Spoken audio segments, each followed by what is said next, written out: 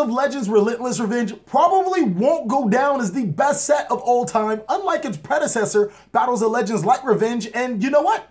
That's okay. While Light's Revenge did have amazing cards like Minerva the Exalted, Light's Lightsworn as a reprint, Psyframe Lord Omega as a reprint, and Anti-Spell Fragrance as a reprint, as well as Double Evolution Pill making its appearance inside of the set, Battles of Legends Relentless Revenge probably has some of the dankest, and when I mean dankest, best upgrade reprints of all time. It would take numerous amount of new OTS packs to catch up to what Relentless Revenge has done. And I'm going to be showing you guys why this set is so good or why you should be picking up this set. I'm the Cali Effect, and if you guys want to see more videos like this, then go and destroy that subscribe button. But more importantly, hit that notification bell because, well, we just too strong.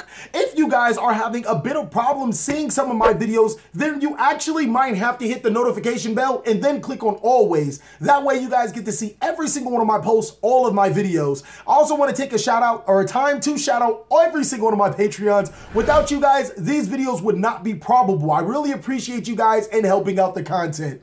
Without further ado, I present to you, you know right, that's that Battle of Legends Relentless Revenge set review.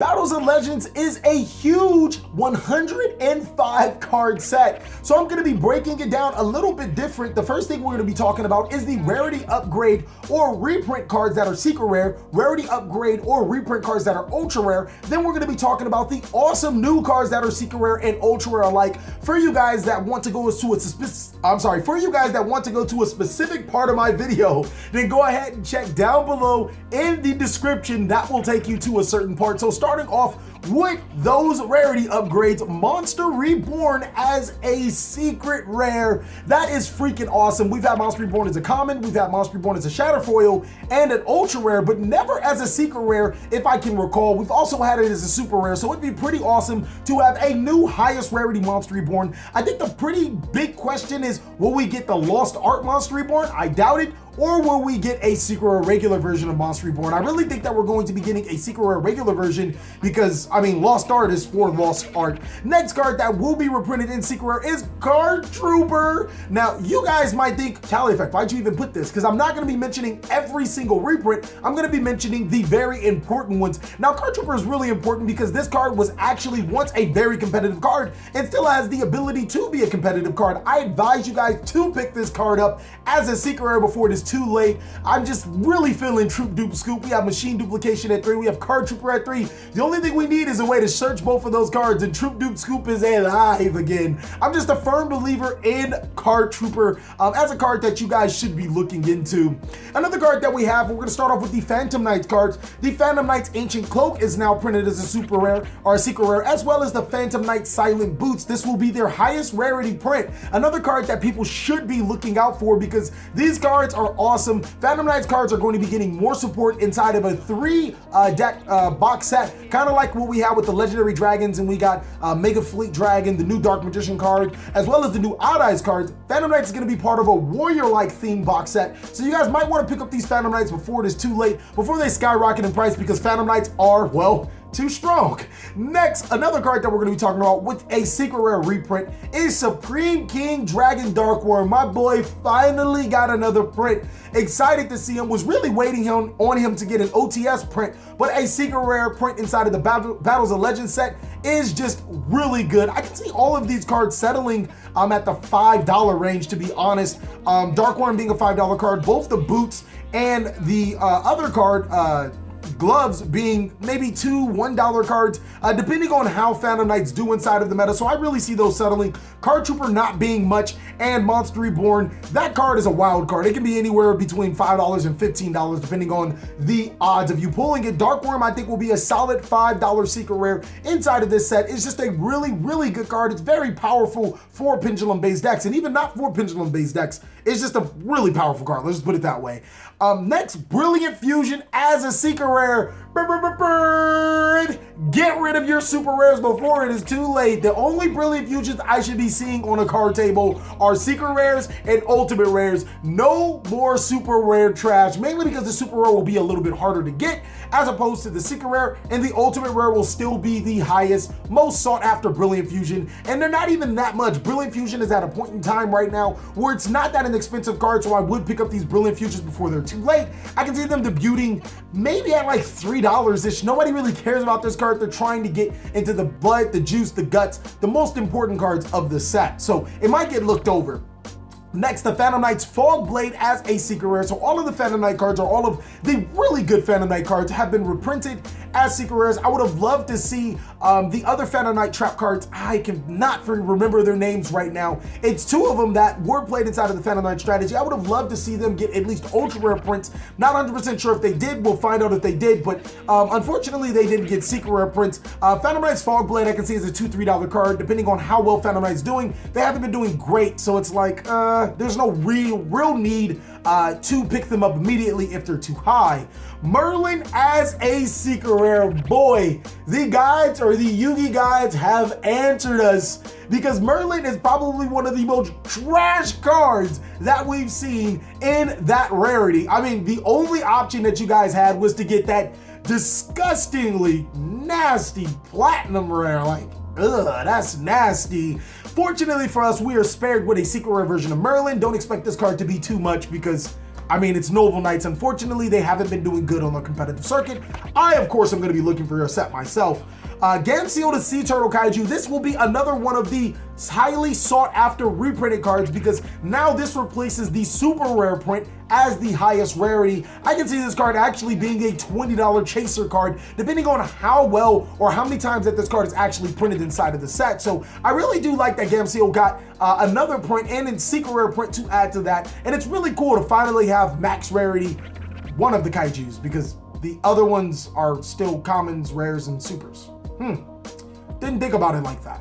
Next card we're going to be talking about is Dark Lord Ixchel. So for the people that bought Destiny Soldiers, I think that's that set name, you literally have no reason to even buy that set. The set's completely trash now. For the exception of Vision Hero Vion, this set's complete ass. There's no return on your money. It's like a $40 set. And more often than not, when you open a box of that, even if you do pull the Ixchel now, it's not worth anything because a secret print from Battles of Legends Relentless Revenge will probably be easier and cheaper and the same rarity. So it does not help uh, you Dark Lords players case. I guess it's a good thing because now Dark Lords players can now play Dark Lords a little easier. Next is Elemental Hero Honest Neos. Now this one hit me in the feels.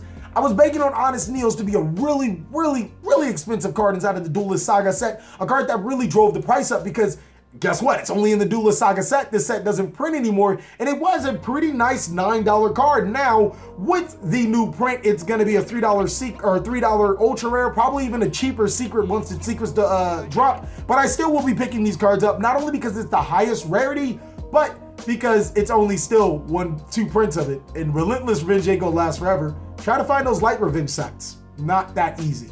On to the next card, Metal Foes Mithrilium. Now, y'all can't say Mithrilium, bro. Not on this channel. We say Mithril, all right? And this card is so amazing. To be honest with you guys, just reading its card effects, just seriously, sit down and read it. You can target two Metal Foes cards in your graveyard and one card in the field. Shuffle targets into the graveyard into your deck, and if you do, the target monster on the field to the hand. You can only use the effect of Myth Trillium once per turn. If this card is sent from the field to the graveyard, you can special summon Metal Foes Pendulum Monster from your graveyard or your or face up from your extra deck. Card's busted. I mean, literally one of the best fusion monsters we have in the game, and Metal Foes are highly underrated, like stupid underrated. This is a really good card, awesome card to have printed as a secret rare. Tornado Dragon, excuse me, Tornado Dragon getting reprinted as a secret rare is also an awesome card. This was a $17, $18 card for Maximum Crisis. Right now, I think it's not even $10 right now, but it's very good. It's, it's a very powerful staple. I think that it should be accessible to everybody at least once a year uh, from its print. So I like this reprint. I really do a lot. Um, also, I think it confirms that we're not getting Tornado Dragon as a secret rare inside of the Megatins. Keep in mind, cards that have been reprinted inside of this set from last year, I highly doubt that they will be printed inside of the Megatin. So it's an awesome pickup for right now because in about a year's time, they'll go right back up. One or next, well, I'm saying one copy like it's a it's a deck profile. Next, we're gonna be talking about is Union Hangar. So Konami makes me waste money on the supers. Right after I wasted money on the commons because the commons were expensive, you only can get them for the structure deck. And then they give me secret union hangars to complement my secret ABC monsters. Like, I can't hate you but I'm not loving you right now because you're making me drop money. Union Hangar is going to be a spectacular card. Pick these cards up. Everything that I'm showing you guys, you guys might want to pick up, especially if it's stupid cheap. Next is going to be Dragonic Diagram, another reprint is out of the set, another huge reprint. Um, I think that this card is a card that you guys definitely would like to pick up, especially if you don't have them. All-time lows right now, the original prints are $10. So if you want those OGs, then pick them up. It's $30 for a set. Never been that cheap ever before in its life. Diagrams used to be a $100 card. So imagine paying 30 on a, you know, 300 playset. That, that's just, damn, that hits me in the feels. I've had those diagrams for that long. The next and last reprint is probably the one that everybody's flipping out about. It's Trickstar Reincarnation. Now, I'm gonna cross my fingers and hope for you guys that this isn't gonna be one of those hard to pull secret rares.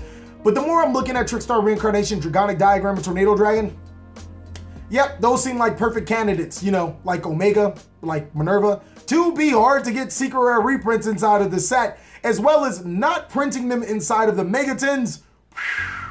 Man, that's that's gonna be pretty nasty. If you have your Trickstar reincarnations, they're going for about 20 right now. That's not a bad time to get rid of them. But if my prediction is correct, expect Trickstar reincarnation to go back up if they're not hit by the list and the deck continues to be popular. That is it for all of the super good secret rare reprints that got rarity upgrades or just reprints for us to get cards cheaper. Let's start talking about those ultra rares that receive the same treatment. All right, so on to the ultra rares. We're gonna start off with Noble Knight Medraut. Uh, the highest rarity would be Secret, so don't expect this card to be highly sought after unless you are a Noble Knight player still looking to get your copies of Medraut. And if you are doing that, getting Secret rares might be the best idea to do it right here and right now before you have to resort to getting to ultra rares later on down the line. Noble Knight Brothers is gonna be a really important card to the Noble Knight strategy once they get to support quote, quote, you didn't hear it from me, but if they do, hey, I just feel like they are, especially since they're getting printed inside of this set. Just another great time for you guys to get secret rares while the ultra rares are being announced and when they first come out before it is too late. And then you're gonna be forced to get your ultra rares excuse me, a little later into whenever you decide to get them, if you decide to get them before it's too late. One of the reprints that I'm excited for is Unizombie. Oh my God. Been waiting for this card to get a reprint. I don't understand why it was anything less than super rare, but here we are with an ultra rare print inside of Battles of Legends. Uh, next is Dark Lord Nastin. Not really much else to say about this card, though it is uh, another card from uh, Destiny Soldiers that is reprinted, and this time it is ultra rare. Eater of Millions is another awesome card that was printed inside of a or inside of a set as a common. Shouldn't have been a common, and now it's being redeemed as an ultra rare. And then on to next Full Metal Alchemist. Full Metal Alchemist. I'm sorry, if, if you've seen Full Metal Alchemist, then you kind of know how to cut scene. Whatever. Anyways, this card as an uh, ultra rare is also good. And again, Mototos are really good. This card can actually snatch an opponent's monster during either player's turn, but we're to talk about Metal Foes possibly in a deck profile a little later. Baguska, the Terribly Tired Tapir, is getting an ultra rare print inside of this set, so that's freaking awesome. Better than its super rare print. Don't see it as anything more than a couple of dollars. And to be honest with you guys, everything except for Eater of Millions and Unizombies are to be like not really worth much cards. And then even Eater of Millions and Unizombies, I really don't see them more than $5. This is going to be a really cheap set in the beginning, and then these cards could possibly go up depending on how play is seen. So Baguska is an ultra rare, that's awesome. Imduk World Chalice is an ultra rare, that's super. It's actually ultra, but still, um, this card's really good. You know, World Chalice almost has everything blinged out. Heralds, um, Imduk is just another great piece of the puzzle. Uh, Kyoto Waterfront what I'm really disappointed is, is that they didn't print all of the kaijus inside of this set. It Would have been really nice to get ultra rare versions of the kaijus, ultra rare Kyoto Waterfront, and then a secret rare Gameciel, but obviously they were having other plans. A side frame driver as an ultra rare, fucking sauce, bro. Sauce. Why are we getting all these great prints? Go well with your ultra rare gammas. It's just really good. Performage Trick Clown and Performage Damage Juggler. Now, if there were cards that were due for a high rarity reprint. These cards are due, being three years old and not having a high rarity reprint, but really pivotal cards into the format. Damage Juggler was banned for a reason, and Trick Clown is, I mean, it's just Trick Clown. It's good.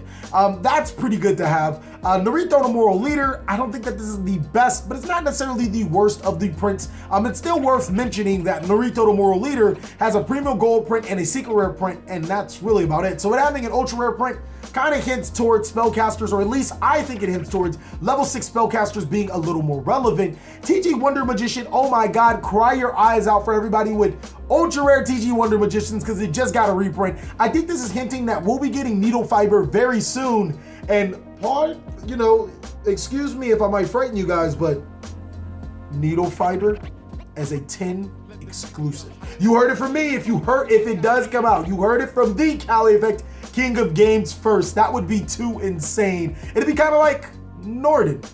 Hmm. Think we're noticing a trend here.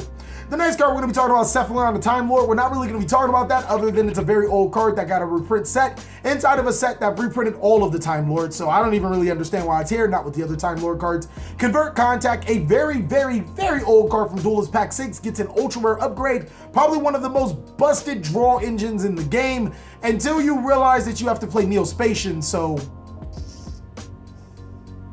yeah. The next card is Neo-Spacian Grand Mole as well as Neo-Spacian Dark Panther. I think these are the only, I don't want to say it without being disrespectful to the Neo-Spacian players, but both Dark Panther and uh, uh, Grand Mole were the two best Neo-Spacian monsters. They've seen the most play in competitive circuits, Grand Mole being a very powerful card back in his day, and Dark Panther being extremely abusable. Rescue Cat back when Rescue Cat didn't negate the effect monsters, and also copying cards like Dark Arm Dragon was still really fun. Um, Pre-preparation of Rites is an ultra rare, as well as preparation of Rites of the ultra rare. Getting rid of all the supers, I think that this is freaking phenomenal. It's awesome to have upgrades of these cards as ultra rares. Can't wait for rituals to get more support and these cards to be a little bit more relevant. World Legacy's Heart as an ultra rare reprint. Oh my god, it was a common inside of the Code of the Duelist set, so having it as an ultra rare, pretty damn good. Solemn Judgment and Solemn Strike as ultra rare reprints. And I really don't really care about the Solemn Judgment ultra rare reprint, even though our Metal Raiders judgments shouldn't be affected. Kind of care about the Solemn Strike reprint. This is a card that I think you guys should pick up Pick up as many copies as possible, especially if they're like two freaking bucks. Do it before it's too late because a year from now, these solemn strikes will be like anti-spell fragrance and they gonna be booming. Uh, and then the last card we're to be talking about is Unending Nightmare as an ultra rare reprint. I actually pegged this card to be a lot better than what it is. It's a card that drifts kind of in and out of the competitive circuit. Not necessarily a great card, but a pretty decent and well welcomed reprint. I think that none of these cards that are, are every single one of these cards inside of this this set, Battles of Legends Relentless Revenge, won't be printed inside of the Megatins. I think it would be really awesome. Allows Konami to give us the more important cards and have two sets for ups to buy from if we want product from last year. That is it for the most sought after or the best of the best when it comes to the reprinted cards. Now we can talk about those new cards in the set, boy. And we can start off with secret rares. On to the secret rares. I'm actually gonna cover these secret rares that are more singular-like cards and then the archetypes after I cover the ultra rares that are more singular like cards. So we're gonna be looking at Hibernation Dragon and it states if this card is normal or special summoned, you can target one level four or lower dragon monster in your graveyard, add it to your hand during your main phase except the turn that this card was sent to the graveyard. If you do not control a link monster, you can banish this card from your graveyard, then target one dark dragon link monster in your graveyard, special summon it. Now this card's actually pretty damn good. I'm actually really interested in seeing how this dark link dragon deck comes out because we've been getting a lot of link monsters that are dragon that require dragon monsters or link monsters that help out dragons. So I'm really interested to see how this link dark dragon deck works out. Possibly a deck profile or something like that on it. So Triggering Wurm is the next card, and it is a dragon effect monster. And it says, if this card is sent to the graveyard as a material for a link uh, summon of a dark link monster, you can spell summon this card to a zone that that link monster points to in attack position, but it cannot be used as link material. If this card is destroyed or banished by a link monster's effect, Draw one card. You can only activate the effect or use each effect of triggering wurm once per turn. Again, another one of those Dark Dragon uh, support cards that are Link support, and it's really interesting to see how that's going to shape up. Really have to look into my archives and see how the other Dark Link monsters work and the other cards in general. Now going into Topologic Gambler Dragon, this is a Dark Cybers Link monster. I thought it was gonna be a Dark Dragon. I'm like, oh my god, we in there. What this card requires is two effect monsters, and if this card is special summoned to a link, to a zone, a link monster points to while this card is on the field, discard two random cards, up to two random cards, your, then your opponent discards the same number of cards. If this card is extra link, you can make your opponent discard two cards or their entire hand if less than two. Then if they have no cards in their hand as a result, inflict 3,000 damage to them. You can only use the effect of Topologic Gambler Dragon or Gumblar Dragon once per turn, only once that turn. Now, if there was ever an FTK card, this is the card. And I know it's a hard once per turn, but just the fact that extra linking is so easy and then inflicting 3,000 damage, I think that, that at the very worst, that card can come up in time. I don't think it's a really good card ultimately, unless you play it in some really gimmicky deck.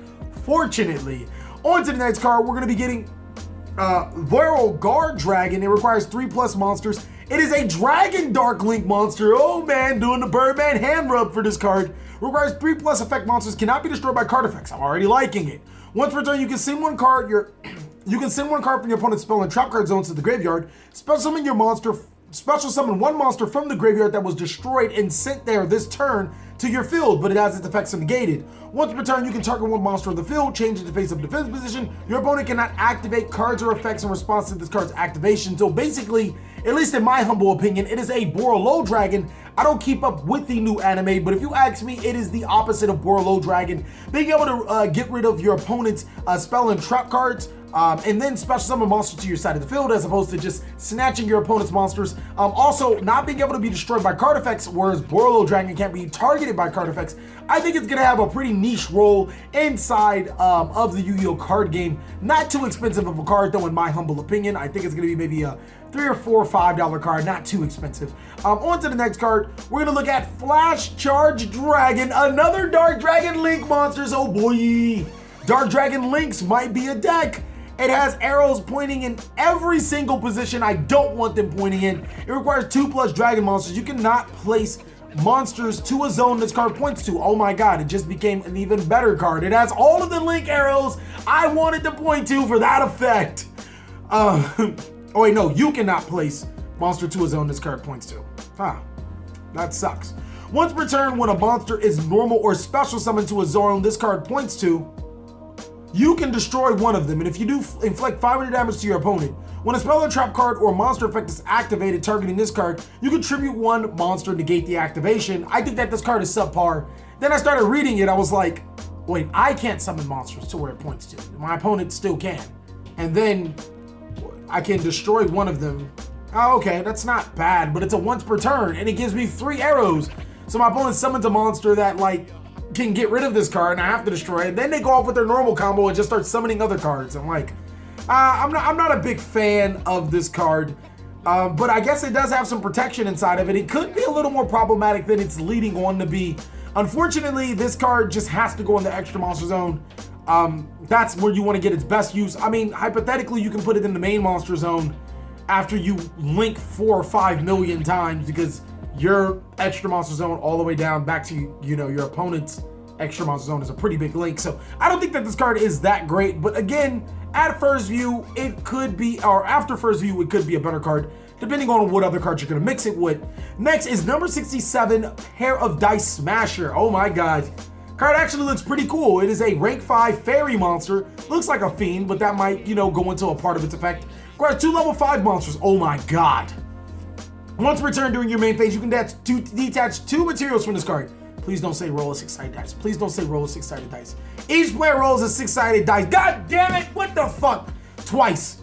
And the player with the higher roll cannot activate monster effects nor declare an attack until the end of the turn. Once per turn, while this card has a, a material, if a player rolls a dice, you can treat one of those dice results as seven. What, what the fuck? Seven? Some cards don't even specify seven. I don't, I don't understand. Seven. This card's really gimmicky. I thought it was going to be a great rank 5. Something that uh, rank 5 monsters are lacking. We're lacking a great generic rank 5. I should have known it was going to be roll six-sided dice because it has dice in the card, but you could always hope for better, right? You could just, it's a part of the aesthetic or every single one of the dice rolls are pretty good. I don't know. Next is number 75, Bamboozling Gossip Shadow. I like this card. I'm, I'm gonna run around saying, hey, you've been bamboozled, swindled. Uh, it requires two level 3 monsters. Once per turn, when an opponent activates a monster effect, you can detach two materials from this card. The activated effect becomes each player draws one card. That's not terrible. That, that's not. It's not. Think about it. Your opponent's on Judgment Dragon. They activate Judgment Dragon's effect. Nah, I think I'm gonna keep my board, but we can both draw a card. You know, not terrible. My opponent wants to use the effect of Trickstar Candina. Nah, I don't think you can surge, but I tell you what, we both can draw a card. Or even more pivotal, your opponent gets to that game state where I want to activate a really treacherous monster effect to disrupt you. Nah, I don't think that's how it's gonna happen. I think we both can draw a card. Not bad. Um, you can target one other number Xyz monster you control, attach this card to it as material, transfer this card's materials to it. You can only use the effect of number 75 Bamboozling Gossip Shadow once per turn. I actually do like this card's name because it, it fits into the name. It's like, oh, I'm gonna activate this card effect. Nah, homie, you've been bamboozled, you've been swindled, you've been swanked, you've been ganked. That's not what it does. It's gonna do this. We can both draw a card. I like this card. I don't know. I just like this card. Um, it actually it actually works well with uh, appropriate. I don't know. I mean, appropriate's pretty gimmicky, but still, it, it's there. It's it's there. Next is going to be number 27 Dreadnought. Dre wait, hold on. One more time. Let me look at this card. This actually works with Dark Worlds, like a Dark World appropriate deck. That that sounds gimmicky, but you know it's not bad. Uh, number 27 Dreadnought Dreadnoid. It requires two level four monsters. Um, I actually like the way it looks. If this card is destroyed, if this card destroyed an opponent's monster by battle, fuck. At the end of the battle phase, you can special summon from your deck one rank 10 or higher Machine Xyz monster by using this card as material. Huh. So it's a ship card that makes the railroad cards. And one of them, if I remember correctly, is really, really good. Unaffected by card effects by detaching material. Huh. Okay. That's not bad. This is treated as an Xyz summon. Transfer this card's materials to the summoned monster. Oh, so now it's gonna have three materials instead of two. Oh, that's great. You can only use the effect of number 27 once per turn. If this card would be destroyed by battle, you can detach one material from this card instead. Uh, I think it's gonna be a pretty good upgrade to the, you know, train deck, even though it's not a train card. Run a train on these O's. Next is going to be number 90 Galaxy Eyes Photon Lord. They keep making Galaxy cards, and I keep getting uninspired. What it does is requires two level 8 monsters. If the card has a photon as Xyz material, this card cannot be destroyed by card effects. Not bad. You can use the following effects of number 90 once per turn. When your opponent activates a monster effect, you can detach one material from this card, negate the effect, and then if the detached material was a galaxy card, destroy that card. I thought it was going to be something awesome. And then if an, uh, you know a detached card was a galaxy monster, you can take control of it or something. No, it, it's okay. It's not bad. It's not bad. But normally when you get negate the activations of card effects, it automatically comes with the destroyed part. During your opponent's turn, you can take one Photon or Galaxy card from your deck and either add it to your hand or attach it to this card as material. Okay, that kind of makes up for the second effect, guys. Kind of makes up for it really well. I actually really like this card. I think it's a really good card. I think it's going to fit in with the Photon strategy. Well, only if they had a Link monster and other support to keep up. Because, uh, be real with you guys, the deck wasn't that great and now it's going into a format where it's a little worse because it's an Xyz based deck inside of the Link format. Hopefully the new Photon cards we get will fix that problem. Next is going to be Glorious Numbers. This card says if you control no monsters, you can target one number Xyz monster in your graveyard, spell summon it, then draw one card. I like this card. You can banish this card from your graveyard, tar target one number Xyz monster you control, attach one card from your hand to its material. Why the fuck would I ever do that? You can only use the effect of glorious numbers once per turn. I do like the first effect. I think the second effect is going to be more gimmicky. Like it allows you to make all of those uh, number in whatever the the ones that needed a certain monster as material. No, because it only attaches from hand. I don't know what the hell we're doing. Maybe a utopia a utopia deck still in, in play. I don't know. Um, next is going to be Cyber Emergency, our first Cyber Dragon support in a very long time. Add from your deck to your hand one Cyber Dragon Light Machine monster that cannot be normal summoned or set. Hmm. No Cyber Dragon Light Machine monsters come in mind that cannot be normal summoned and set. But, but, but, I am not the Cyber Dragon God. I'll figure it out and I'll give you guys a deck profile soon. If this card activation is negated by an opponent and to the graveyard a result, you can discard one card, add this card from your graveyard to your hand. You can only activate this card's effect once per turn. Now, there's something I actually want to uh, show with you guys is that you will be able to use this card's effect again, even though it says you can only activate the effect of Cyber Emergency once per turn. And I'm gonna give you guys a really good reason why. It says if this card's activation is negated, the activation is negated means that the, the activation never happened. You can activate this card again because the activation was negated. You still haven't fulfilled activating one cyber emergency once per turn. Now, that's the difference between when a card says activate as opposed to when a card says you can only use this effect once per turn. Um, to the next card we're going to be talking about is Living Fossil, so basically my wife. It is an equipped spell card. Activate this card by targeting one level 4 or lower monster in your graveyard. Special summon it and equip it with this card, but banish it when it leaves the field. When this card leaves the field, banish that monster. The equipped monster loses a 1000 attack and defense and also has its effect negated. You can only activate one Living Fossil once per turn. I like it because it's a equipped spell card. It has a little bit of potential. Some hidden potential that I necessarily don't see but definitely hidden potential. That's it for all of the secrets. Let's talk to you guys about those ultra rares, and then we can talk about those archetypes, boy. Okay, I actually forgot a couple of secret rares. One is Iron Draw. If you control exactly two machine effect monsters and no other monsters, draw two cards. Also, for the rest of the turn after this card resolves, you can only special summon monsters once. You can only activate one Iron Draw once per turn. Pretty good card for machines. Also, Orgoth the Relentless. Once per turn, roll a six-sided dice three times, then have this card gain attack and defense equal to the total roll times 100 until the end of your opponent's turn. If exactly two of the results were the same, apply the appropriate effect, or if all three results were the same, apply all of these effects. If you roll two, one, or twos, this card cannot be destroyed by battle or card effects until the end of your opponent's turn. If you roll three or fours, two, three, or fours, you get to draw two cards. If you roll two, five, or sixes, this card can attack directly. So um, not necessarily a great card, but still a really fun card. I, I see it being a pretty fun card to play. And then last is Flying Elephant, the most busted card in this set. What it does is the first time this card will be destroyed by an opponent's card effect, during each of your opponent's turns, it is not destroyed. During the end phase, if this card was applied, or if this effect was applied this turn and not negated, apply this effect during your next turn. When this card inflicts battle damage to your opponent by a direct attack, you win the duel. Okay, it's trash, but still, it's, it's a really fun card. Um, if you guys don't remember, Bandit Keith got scraped by this card by Maximillion Pegasus, and now it's a real card. I mean, now it kind of explains um, how that win went down. So on to the ultra rares. We're going to talk about Kiaki, the Unity Star. If this card is special summon, you can pay 500 life points, fusion summon one warrior monster from your extra deck, using monsters from your hand or field as fusion material. During your opponent's turn, if you control a level 5 or higher warrior monster, whose current attack is different from its original attack, you can special summon this card from your graveyard. You can only use this effect once per turn.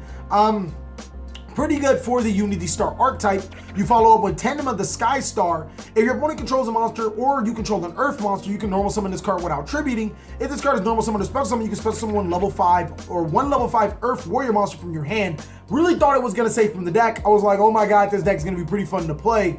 Um, you can only use the effect of Tandem Sky Star once per turn. Once per turn, when your opponent activates a card or effect that targets a warrior monster you control, you can make this card lose exactly 500 attack. And if you do, negate the activation. And if you do that, destroy this card. So pretty powerful cards. I like the Sky Star archetype so far. Um, I, I remember correctly, Feast of the Wild might work with this deck really well. So it's going to be pretty fun to see how that pans out. Hayate the Earth Star, if your opponent controls a monster and you control a, or if you control a light monster, you can normal summon this card without tributing. Or or if this card is normal summon a special summon, you can special summon level 5 uh, Light Warrior monster from your hand. You can only use the effect of Hayate once per turn. Once per turn, when a warrior monster you control is targeted from attack, you can make this card lose exactly 500 attack, and if you do, negate the attack. Kind of like how the battle guards are. It's going to be really interesting to see how this archetype shapes up. We only get uh, about, I want to say, four cards for this archetype, so I'm kind of excited to see how they shape up. And it's going to be hard to summon these monsters at first, but I think people will find a way. Next is Shura Combat Star. And I actually have to talk about Idaten before I talk about Shura. Let me go ahead and click on that and bring him out. And Idaten requires two level five uh, or higher warriors. If this card is fusion summon, you can add one level five or high, one level five warrior monster from your deck to your hand. You can only use the effect of Idaten once per turn. Once per turn, you can discard any number of cards. This game, this card gains 200 attack for each card discarded. I will never use that effect in my life. Well, Okay, I can see a combo with it. Once per battle, if this card battles an opponent's monster with an equal or lower level doing a damage calculation, you can make that monster's attack become zero. Okay, so it's an OTK type deck. Next is Shura the Combat Star. It requires one Idaten plus another level 5 or higher warrior monster. Once per turn during the battle phase, you can change the attack of all face-up monsters your opponent controls to zero. Once per battle, if two monsters battle during damage calculation, you can make each of those battling monsters gain attack equal to their own level. During that damage calculation only, if this fusion summon card is destroyed by an opponent's card or battle, by battle or card effect, you can send this card instant to your graveyard. You can special summon one Idaten the Conqueror Star from your extra deck, this is treated as a fusion summon. I think that this deck obviously won't be competitive, but it'll be pretty fun to mess around with. Possibly make something really stupid, really busted, and scrape some people for a video if you guys want.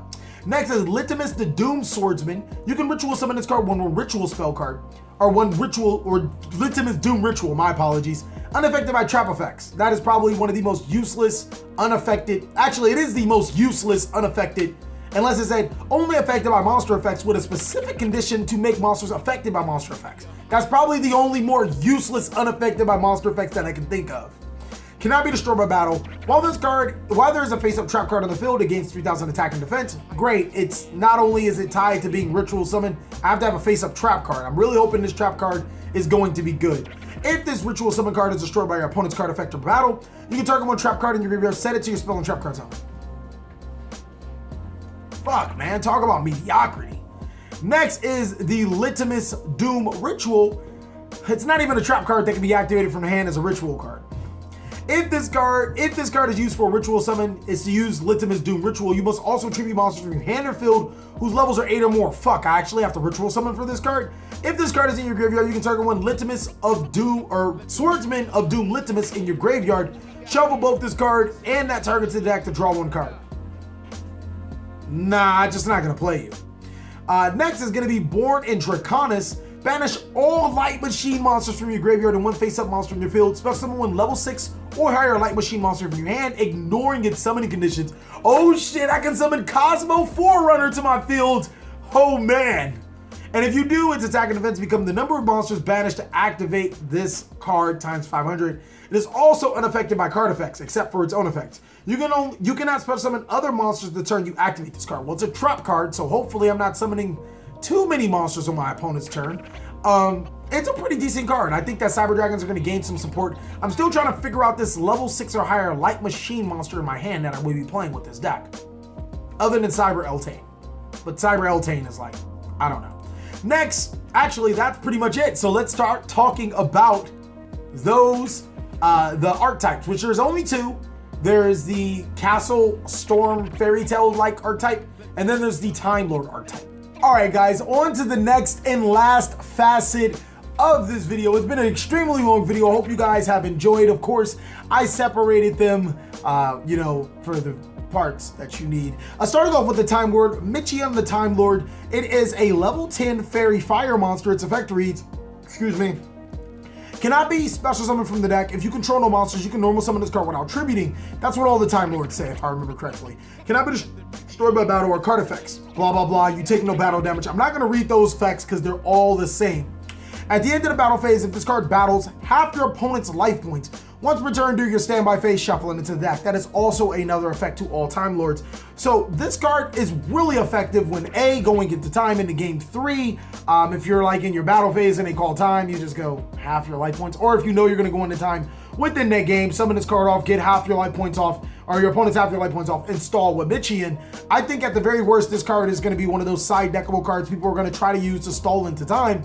And at base, best, it might actually be a card to use for Time Lords. Now, if you were to play it in your Time Lords, I could only see you playing one copy if you were to main deck this card. Because half of your life points, half of your opponent's life points once, okay, that's big. You know, 4,000. That's kind of big. Having it twice, 2,000, mm, not too much. 1,000, what the fuck are you doing? A thousand, 500, 250. Yeah, this card's never going to be hitting for game, but still, just the fact that it can have the life points once isn't a bad thing. Next is going to be Hailon, the Time Lord. And what this card says is, uh, if this card battled, if your like current life points is lower than your opponent's, inflict differences affect damage to your opponent. What the fuck? So hold on. You give me a, a, a, Time Lord that has my opponent life points, then you turn around and you just give me a better Time Lord that's just the damn burn card. What is wrong with you, Konami? What are these Time Lords for? They seem like a burn stall deck. I'm I'm I'm very very very not interested in them. On to the next card, Raphion the Time Lord. This card does uh, inflict effect damage to your opponent equal to the attack of one face-up monster your opponent controls. Okay, so basically it looks like the Time Lords are going to be a stall burn deck. And this just might be the best Time Lord monster other than, you know, the disruptants we have with Saphian um, and the Water Time Lord. I, I hope I'm saying these monsters right. Um, so I actually like this one. This might actually seem like a two or three of. Seems like a solid Time Lord card. Next is Gabrion the Time Lord. And as we look, these Time Lord monsters have zero attack. So we're to need some way to get these Time Lord monsters attack. This card says, uh, if this card battled, shuffle all cards your opponent controls into the deck. Then your opponent draws the same number of cards. I don't like that part.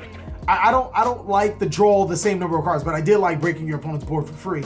Um, I don't think that this one's a very good one because drawing your opponents, giving your opponent more resources after you've gotten rid of the resources, they might just make another busted board.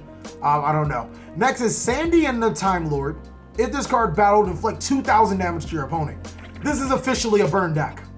And Sandaion is probably the best of the best Time Lords because it's not dependent on um, it's not dependent on other cards like the other Time Lords, and it gives you a definitive amount. Let's say you attack with your uh where's that card? Your Mitchell, your Michion, and then you attack with Sandaion twice. That's pretty much game. That seems like the thing. I think that this might be the three of Time Lord inside of the deck. Next is Infinite Light. Activate by only by sending one Infinite Machine in your Spell and Trap card zone to the graveyard. Cannot be destroyed by opponent's card effects, and neither player can target Time Lord monsters you control with card effects. Also, they cannot be returned. Oh, what the fuck? They cannot be returned to the deck. Perfect. Once per turn, if you control no monsters, you can special summon one Time Lord monster with different names, up to one each from your hand and deck or graveyard, ignoring the summoning conditions. Summon one. You control no monsters, you can special summon Time Lord monsters with different names, up to one each from your hand, deck, or graveyard. They have a busted trap. Good for them. Next is going to be Empty Machine. Once while this card is face up on the field, it cannot be destroyed by your opponent's card effects. Once per turn, you can activate one of these effects. Discard one level 10 monster, draw a card. That's good. You control no monsters, if you control no other cards in your spell and trap card zones, target one Time Lord monster in your graveyard, shuffle into deck, then set one Infinite Machine from your hand or deck to your spell or trap card zone. That's that's pretty good. That that's pretty good. And they work off of each other. Oh no, they don't. You need this one. Infinite Machine. Activate by sending one empty machine in your spell and trap card zone to the graveyard. Oh my god, all right. So the third trap card makes perfect sense because the second trap card needs the first trap card to be played. Bro, mind blow. Once per turn, this card cannot be destroyed by an opponent's card effect. Once per turn, you can activate one of these effects. During your main phase, you can special summon one Time Lord monster from your hand. Okay. Target one Time Lord monster in your graveyard, shuffle it to your deck, then set one Infinite Light from your hand or deck to your spell and trap card zone. Oh my god, all right, this this isn't, this, this is, um, this is cool. It's cool, Time Lords are now a thing. The last thing that we're gonna be talking about is, of course, the Fairy Tale Monsters. Really excited to reveal these cards to you. Uh, Prinzessin, or uh, Cinderella, is this Cinderella? The Glass Slipper Girl Cinderella, right? Okay, cool. What this card does is if this card is normal summon a special summon, you can special summon Pumpkin Carriage from your hand or deck. If Golden Castle Stormberg is on the field, you can equip one Glass Slippers from your deck to this card. You can only use the effect of Prinzessin once per turn. When this card inflicts battle damage to your opponent by a direct attack, it has 300 fucking attack. You can target one Glass Slipper equipped to this card, and one other face-up monster on the field, equip that Glass Slippers to that monster. Okay, so it looks like Prinzessin's gonna be pretty much revolving around this Glass Slippers card. What does this Glass Slippers card do? If the equipped card is a fairy monster, it gains a thousand attack. Otherwise, it cannot attack, and it loses a thousand attack. Oh shit. So imagine fitting these shoes on one of your, I don't know, monsters such as, let me think, one of the most scariest monsters. Trickstar Candina, it's scary as hell. Okay, obviously that doesn't work. But fitting it on your Altergeist Hexstia, or you know a monster, it's gonna lose a thousand attack, and it's not gonna be destroyed by battle. But even more important, or it's not gonna be able to, uh, it loses a thousand attack and it can't attack. But even more importantly, imagine if this card was in the anime. Like, obviously it was in the anime a couple of years ago, but imagine if it was in anime now and putting glass slippers on that card. Uh, if this card is sent to the graveyard because the equipped monster was destroyed, you can target one princess in you control, equip that. Oh, okay. That's not bad. Okay, so Prinzessin and Glass Slippers work in tandem with each other because when Glass Slipper is sent to the graveyard, you can just equip it to the Prinzessin, and when Prinzessin inflicts damage or direct attack, you can equip the Glass Slippers to an opponent's monster, and Glass Slippers gives your Prinzessin card effects. That's pretty cool. Next is gonna be Hexe Trude.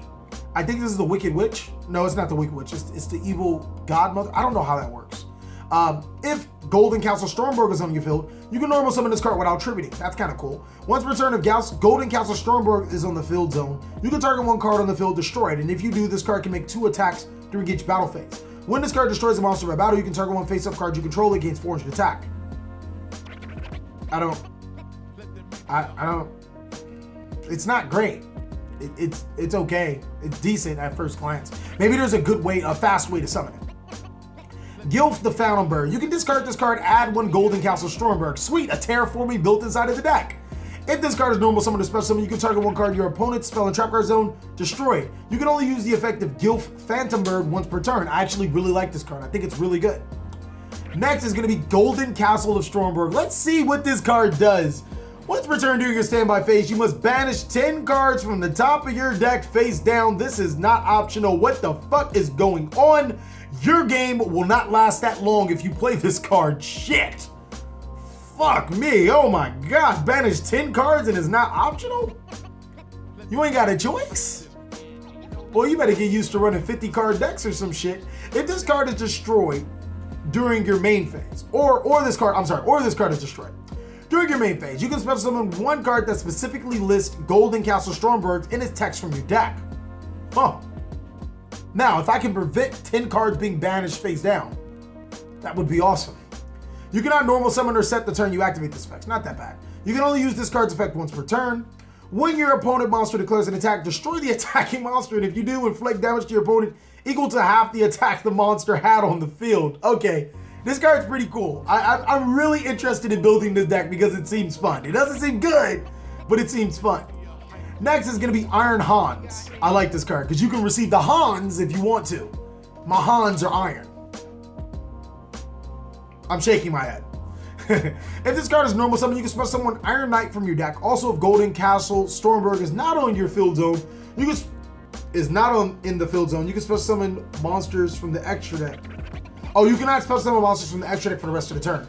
You can only use the effect of Iron Hans once per turn. If Golden Castle Stormberg is on the field, this card gains 1,000 attack for each Iron Knight you control, so it can be a 2,200 attack monster. Pretty cool. Next thing is Iron Knight, because in the daytime, it would be Iron Day. Get it? Get it? it says, if you control an Iron Han, this card loses 1,000 attack. Garbo. If this card is destroyed a battle, or if this card is on the field, oh fuck, it's a level four. Is Iron Han's a level four? Ooh, okay, that's not bad. Oh, but you can't go in the extra deck unless you play the fucking Golden Castle. Uh, or if this card on the field is sent to the graveyard, you can add one Iron Hans from your deck to your hand. If Golden Castle Stormberg is on the field, you can add one Warrior Monster from your deck to your hand instead. You can only use the effect of Iron Knight once per turn. Nah. Hmm. So far, they're not looking great, but it's looking really fun. Next is Iron Cage. When this card is activated, send one monster you control to the graveyard. Or if Golden Castle Stormberg is on the field, you can send one monster your opponent controls to the graveyard instead. Okay, that might be all worth it. Once per turn during your standby phase, you can target one monster in your graveyard that will sit there by this card's effect. Destroy this card if you do special summon that monster to your field. You can only activate one Iron Cage per turn. I don't... So you get to kind of steal an opponent's monster? That's cool. And then the last card we're going to be talking about is Pumpkin Carriage, which is a plant level 3 monster. So it's a lone fire target. Prinzessin you control can attack directly. Your opponent cannot target Golden Castle Stormberg you control with card effects. Also, can Isset cannot be destroyed by card effects. So to be honest with you guys, this deck is really, really bad. Like, it'll be fun, but it's bad. Bad isn't always fun, but this is fun and not bad. Now, thank you guys so much for watching another segment of the Cali Effect. I really hope you guys enjoyed this review. Let me know down below in the comment section what you guys are most excited for. But more importantly, your boy is gonna have to take a break before I edit these videos. If I missed any cards, also be sure to put them down below in the comment section. I decided to, I tried to go over all of the important cards, which is why this video was so long. Please like, comment, subscribe, but most of all, enjoy. I hope you guys are having a great day, like I am. Stay classy, fellas.